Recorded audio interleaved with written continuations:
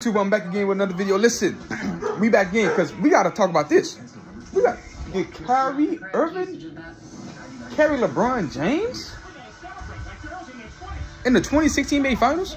Because the stats say Kyrie Irving is 3 6, 50% shooting in clutch time.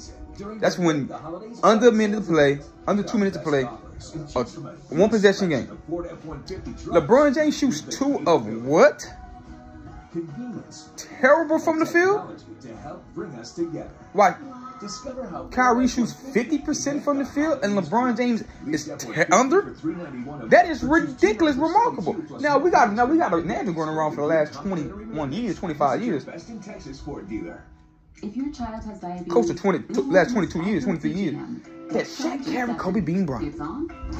I'm gonna video about that, how Kobe saved Shaq ass in every clutch moment. Because nobody giving the ball to Shaq in a clutch moment. He can't shoot free throw for his fucking life. Dependent on it. We be all be dead.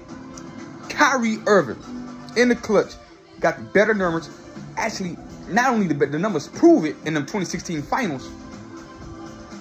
We seen the shot. We seen him win the final with the shot. And he averaged over 27 points a night. You know who you, you know he averaged over 27 points a night. That's more than what Steph Curry averaged in that 2016 final. Drop mic.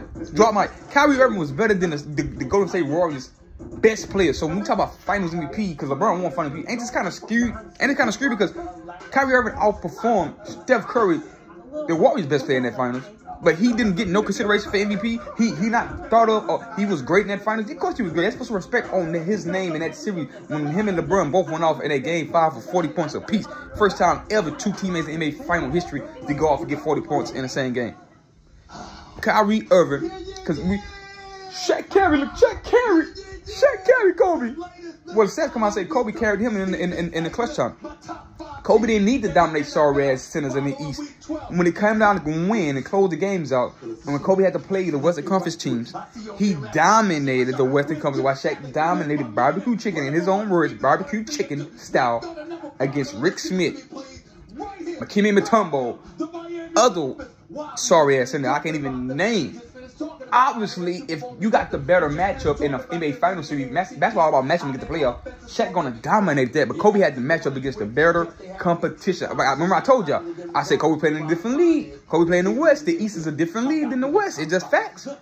If you win three straight finals, three and zero, and sweep, just sweep one of them, jump to sweep another one, and you go to six to the other when Kobe was younger. You're by far superior to better league. It's two different leagues. The, the, NBA West and the NBA East is two different leagues. I'm sorry. The West is dominant. Sorry. At that time when Kobe Bryant and Shaq were playing, when Kobe and Pau were playing, just period. It was a different league. So, Kobe Bryant's significance and clutchness outweighs what Shaq did scoring-wise through three quarters against sorry-ass team. I'm sorry. Same thing with Kyrie did. If it wasn't for Kyrie, if it wasn't for Ray Allen, LeBron James would have won probably two championships. He'd be two two out of ten in championships. Let that sink in. When people talking about, oh, oh, players help their teams win. They hit, oh, Metta World Peace of the, uh, hit a, hit a, hit a clutch shot. Murder roll piece of the clutch shot for Kobe. Nigga, that, the Lakers was already up three points, you dumbass. They wasn't down three, they wasn't down two. And Metta World Peace hit a game winning shot, you ass white. LeBron James had a, a, a, jump shot he missed. Chris Bosh get the rebound. Game over with if Ray don't make the shot. No, nobody in the NBA, no, not I can watch Kobe. NBA final series that anybody made a shot there for Kobe Bryant. Nobody. Nobody made that for a shot like that for Michael Jordan. Nobody. All right. So it's significance, emphasis on the shots that Kyrie and Ray Allen made for this man, especially the Ray Allen one when LeBron James bricked it himself. He bricked it. And nobody could score in that in, in that in last two minutes of that Golden State in uh Cleveland series until Le Kyrie say, I'm going to nail this tree right in the MVP eye, and we're going to win the championship, LeBron, and I'm going to help your save your legacy. That's what happened, that's what the stats prove. But y'all want to discredit Kyrie, or Kyrie ain't win shit since LeBron. Kyrie is a small guard. How many small guards win championship without a great wing or a great center? Or another great player on the team. A la, Kareem with Mag, Magic and uh, Oscar. A la Shaq with Kobe, D-Wade a la Tony Parker, Tim Duncan. Only person that you can say is I, is Steph Curry and Isiah Thomas. And everybody else not winning with dominant, not dominant wing players and uh and great centers. It doesn't happen. So Kyrie, after LeBron, he left LeBron. He released him to the playoffs. Boston didn't go to the playoffs. He did big join the 50 49 club, exclusive club that LeBron James can't even dream of thinking if he did. He better wake up pockets everybody in that damn club.